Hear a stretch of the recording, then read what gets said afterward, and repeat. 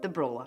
The brawler was really hard. From the back of the van where Will abused Kaz was really hard because he he went me. I, you know, I asked for it. I could rip your head off right now and no one would give a shit.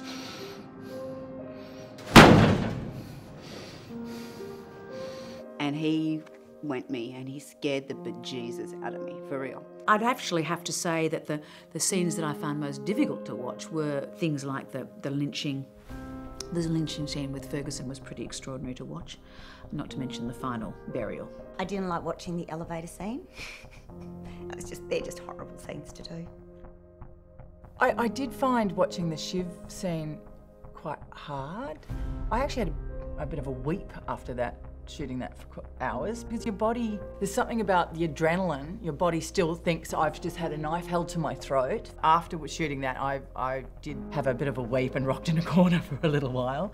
So that was, that was pretty difficult. Emotionally, the scene, scene the scene in the showers with Liz was pretty challenging to watch because it's awful to see Lizzie go through that, you know, which is what Boomer was feeling too. Like she comes in with one agenda and ends up leaving completely confused and what the hell just happened? I just saw my surrogate mum ripping her hairs out of her head and melting down, so that was pretty full on. You are a, a serial liar! Can't fucking help yourself, can you? No, uh, I mean, I think it was probably the stuff in the bathroom when Boomer comes in. It was quite weird to watch it back because it was, I didn't realise how distressing it was.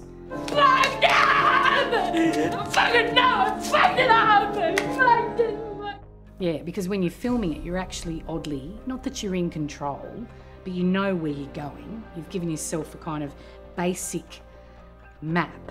But when you watch it back, you see yourself from a different perspective. So it was quite distressing. On an emotional level, I found it really difficult to watch Allie burning uh, all of these sketches because it was her only tangible memory of Bea. Now Bea only exists in her mind. She's got nothing left of her.